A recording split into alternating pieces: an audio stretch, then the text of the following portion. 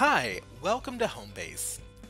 In this video, we're going to be going over the steps on how to view credit tips for your Clover employees. So, as you may be aware, our integration with Clover allows you to pull over information like sales and tips from your employees, as well as all the other great features Homebase offers. If you're wanting to view those tips that are for your individual employees, it's just a few simple steps. First, you're going to want to log into Homebase at joinhomebase.com and sign in with either your manager or owner credentials. And that will bring you to a screen that will look a lot like this.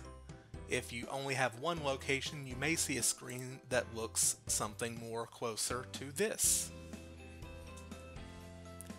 Alright, now in that purple navigation bar at the top of the screen, uh, you should see a list of options uh, starting with the Homebase logo, going from schedule, timesheets, all the way over to settings and help.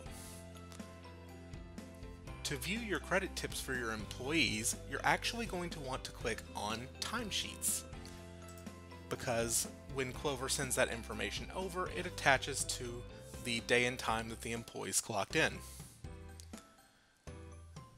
Alright, now as you can see here, uh, we have a list of all your employees, all the time they've worked, everything like that that you'd expect from your timesheets.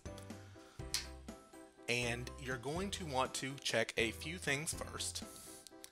First, you'll want to click on this gear icon here, which is for the settings for your timesheets, and make sure that import credit tips is checked.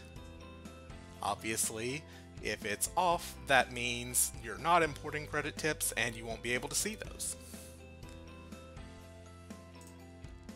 Then you can click anywhere else on the screen to make that menu go away. And to actually view those credit tips, you're going to want to unhide the credit tips column. You can do that by clicking the Edit Calls button, which is just a little bit to the right of that Settings button we just clicked. When you click Edit Calls, you should see a list of items that you can have active on your timesheets.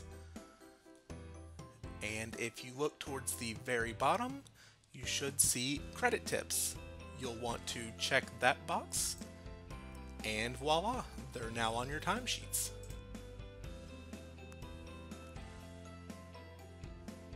You can then go down to each individual day and see that total for the tips for each day that has been reported to Clover will be pulled right over into Homebase.